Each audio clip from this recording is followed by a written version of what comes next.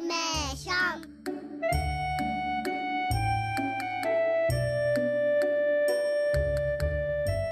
明日を幸せに生きるほのぼの情報。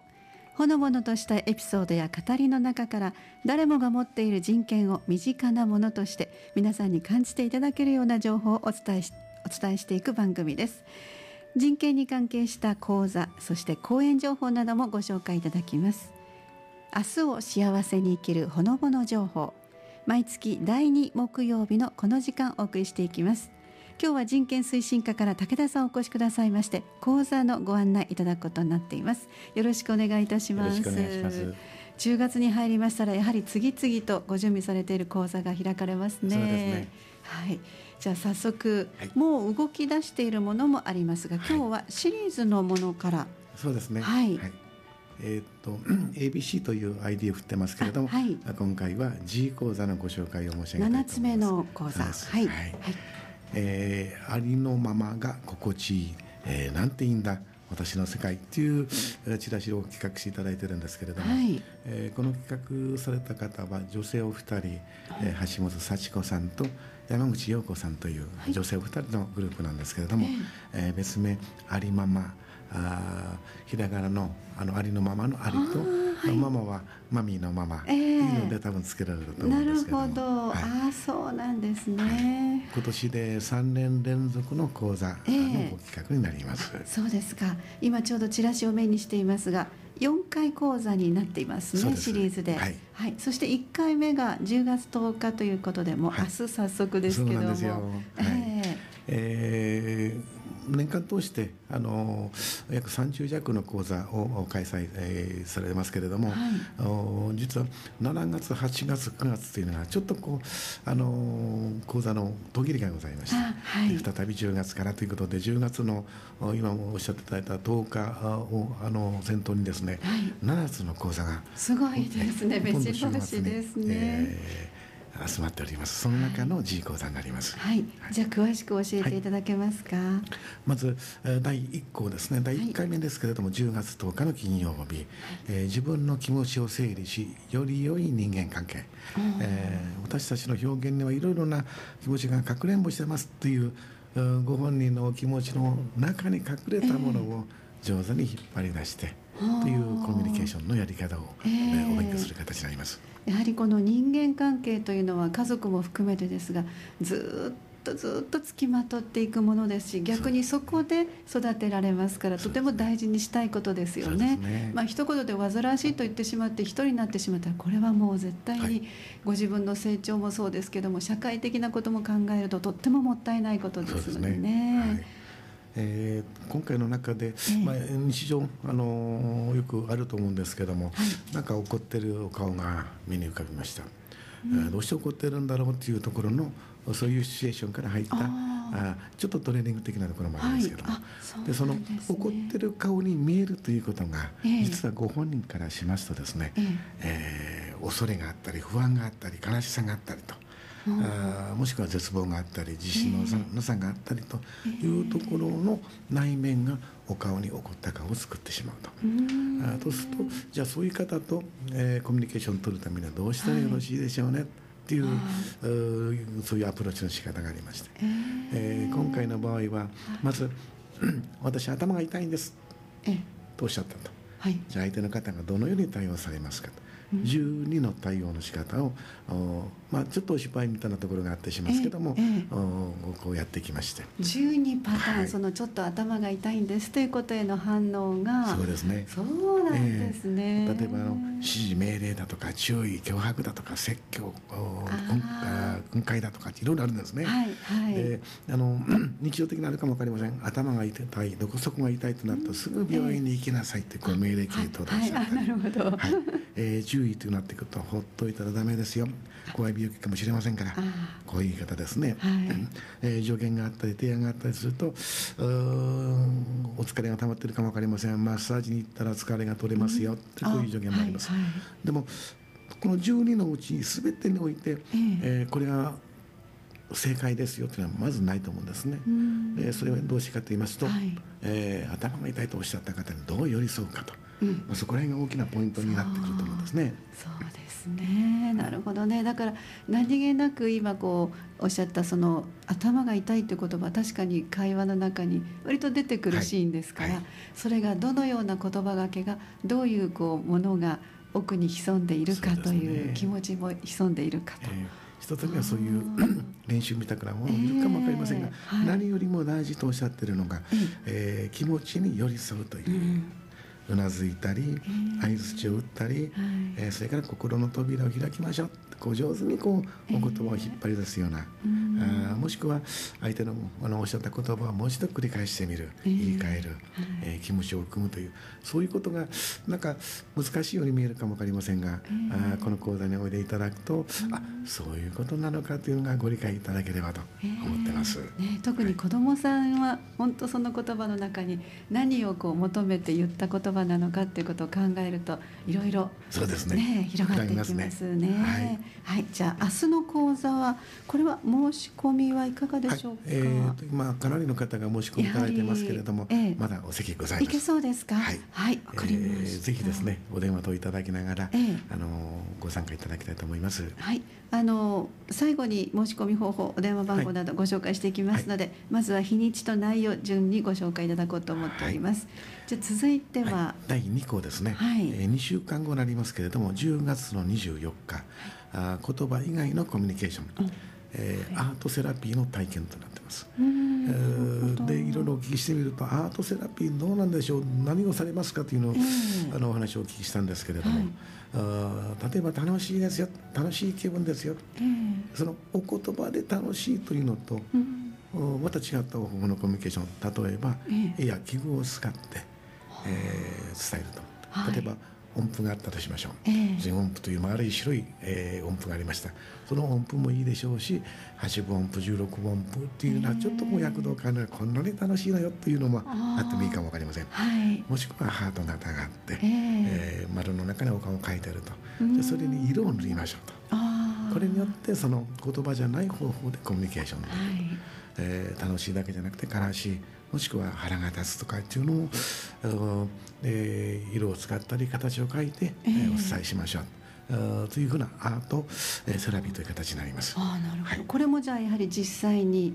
あのおやりいただきます。あ、はい。そうなんですね、しながらええ参加できるということですね。特にあの自己紹介という形でのおええ言葉じゃなくて、はい。絵を描いたり記号を描いたり色をつけるもしくは、えー他己紹介とおっしゃいますけれども、あはい。あの相手の方にご自分を紹介していただくと、えーこれは去年もやっていただいたんですけどはっと気がつきますとですね。ええ。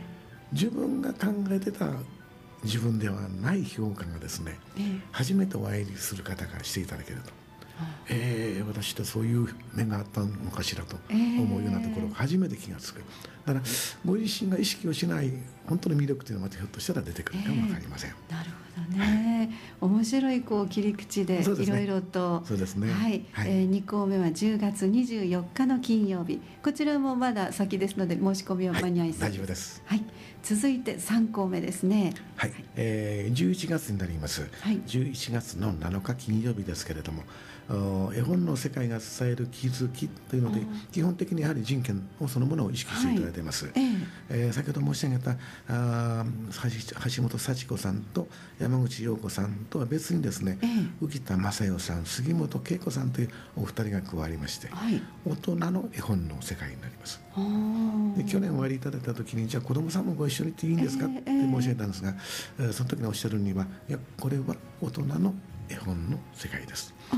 えー去年の段階でのタイトルが「絵本の世界を冒険しよう」っていうのがありました、はい。えーそれと同じく今回も非常に楽しい絵本の、えー朗読があったり、ええ。えー読み聞かせがあったりします。はい。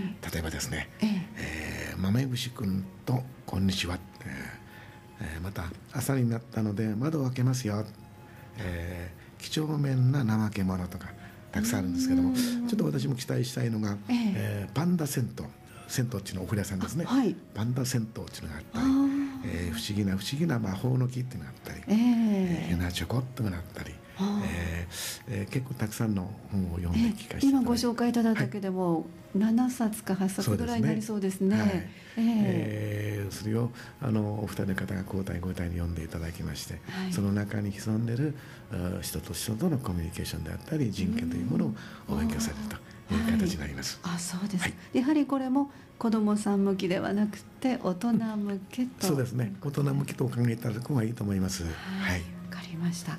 11月7日、これもやはり金曜日です。3項目ご紹介いただきました。そうですね。そしてシリーズの最後4項目は、はい、えー素敵な私の世界。えーこれの、えータイトルも非常にこう興味を引くんですけれども、はい。ありのままを肯定されたメッセージで心豊かにしましょう。というのでパステルで素敵な自分を再発見っていうえ。内容なんですけども、はい。要はパステルっていうのをご存知の方はああそうかと思われるかも分かりませんがあのーチョークに似たような色のついたのはい。を削りまして粉にします。はい。でえーそれを指先で絵を描いていきます。あしたお顔を描くっていうのはかえって難しいかも分かりません。なんか抽象的なものでもいいし。はい。はい。えー今回はあのー来年の干支になります羊を描きますということになってますけれども。あはい。あーそうですね。あのー白い羊でもいいでしょうし、えーピンクの羊でもいいでしょうしえーえーえー緑の羊でもいいでしょうし、はい。というふうに、えー書いていただくと、あのーうそうですね。左手も右手も使って指で書きますから細かいところは書けません、はい。でその代わりなんとなしにふわっとした雰囲気に仕上がると、えー3年前私もちょっと書いてみなさいということで書きましたけれども、ええ。なんか淡いふわっとしたなんか色使いが自分の個性が出るような、えーなんかそのこの時間が非常にこう愛おしいな感じの時間を過ごしていただくことができると思います。あ。の武田さんは日頃からこう絵を描いたりされることは、えそういう意味は全然ダメなんですよ。あええそうですか。でも楽しまれました？あのー教えていただくままにですね、ええええ。こうやって書いてみてとかっていうあいくつかの方法がありますけども、まあ、指でなぞるように書きまして、はい。一部はあの消しゴムで消すような形があったり、うんああ。えー型紙を使ったりと、ええ。いろんな方法があるようですけれども、うん。あの自分の想像がね最初に、まあ、ちょっとした構図を考えて書き始めてもどんどんどんどん広がっていくんですね。ええそうですかいい意味での裏切りがどんどんあるんですかそうです。そうそうおっしゃる通りです。予期しないような予想しなかった結果になっていくという。だからあまり濃い色をたくさん使うというよりもやはり、さっき申し上げましたようにふわっとした雰囲気ができてくれば。えええー記念に私机の上に置いてますけれども。そうそのぐらいお気に入りとなった。そうですね。あそうですね。そうですか、ね。じゃあ日頃あまり絵を描かれることはもう学校以来そうです。されていらっしゃらなくても。と、はい、という方でも楽しめる。あのどうぞその絵心がありますありませんっていうのを気にしないでおいていただく方がいいと思います。そうですか、はわかりましたそれぞれにいろんな角度からのでもベースにあるのは、まあ、自分がこのままでいいんだよ。それで心地いいんだよというメッセージが込められている。そうですか。はい。でどの講座もじゃあなべてあのまだ人数的には大丈夫です。いけそうな感じですか、わかりました、はい。じゃあお申し込みいつものようにお電話で。はい。ということで。で当日ちょっと時間ができたからという方でも大丈夫ですか？はい。ということです。えー場所が三田市総合ほ総合福祉保健センター講座室で朝10時から12時までの2時間午前中です。お申し込みお問い合わせの電話番号が559-5148 559-5148です。えーまずは G 講座と、えー7つ目の企画になりますがこれが4つシリーズ明日からいよいよスタートですからぜひお出かけになってみてください。はいえーとってもね素直な時間自分が素直になれる時間になると思いますえ。ーであのー講座申し込みのお問い合わせいただきまして、ええワークショップありますか？あ初めての方とお話ししなくちゃいけないですかっていうのもお問い合わせあったんですけども、ええ。このお二人のおやりになる講座、まあ、今回で、えー、3企画えー講座数によりますと10講座になりますけれども、最初の5分の段階で皆さんも本当に昔からお知り合いのような仲良しになります。とっても優しい雰囲気になりますので、これをぜひ参加いただいて、あのの変な心配されずにですねまず行ってみてよければ2回目も3回目もお考えいただければと思います。はいわかりました。まずは明日から始まります。ありのままが心地いいという、えー、この講座のご案内いただきました。そして10月もう一つ明日からスタートするのがありますね、はい、えー、先月の段階でも触れさせていただいたんですけれども、はい、三田地域部会さんの企画によります。三田地区にゆかりのある方に身近なテーマでお話をしていただきますという、はい、向きで、えー、3講座が決定しております、はい、これもシリーズで3講座。そうです、はい。えー、日にちと少し内容を申し上げておきます。お願いします、えー、明日からですけども10月の10日金曜日、えー、不自由だって大丈夫、えー、身体障害営業マン町へ行く、えー、この方がですね藤田義彦さんという方ですね、はいこれも私非常に楽しみにしております。第2項目が1週間後10月の17日の金曜日、えー、子どもの貧困を考える、えー、勅使河原渉さんのお話になります。3項目10月の24日同じく金曜日。自分を語りつながりに気づく。不登校担当教員としての活動を振り返って、えー、上田敦之さんのお話になります場所ですけども中央公民館1階の大集会室時間が19時から21時という形になります、こちらは夕方といいますか夜7時から。はいそうです。はい、はい、分かりました。同じくあの申し込みは先ほどご案内した電話で559-5148 559-5148です、はい、そしてもう一つですね、はい、介護するってどういうこと？ちょっと話し合ってみませんか、えー、これの企画していただきましたのは男性介護の会ぼちぼち野郎会さんです、はい、えー、お二人の方が2回に分けまして、えー、ご講演いただきます。まず10月18日の土曜日、えー、介護が始まった時困ること考えること事例をもとに考えてみませんか？2回目が10月の25日の土曜日夫婦で楽しく認知症介護家族が認知症と診断されたらどう考えたらいいのか明るく暮らすためにはというので、えー、ぼちぼち野郎の代表であります竹中会長ご夫妻にお話をしていただきます。えー、この向きは9月号の人権三段の記事にも載せさせていただきました、えー、とにかくご夫婦のですね仲がよろしいのとそれと笑いが絶えないのと、はい、本当にこれで、えー、認知症っていう病気になってらっしゃるのかどうかというような、えー、そういうようなことまで考えてしまうようなあ明るいご夫婦です。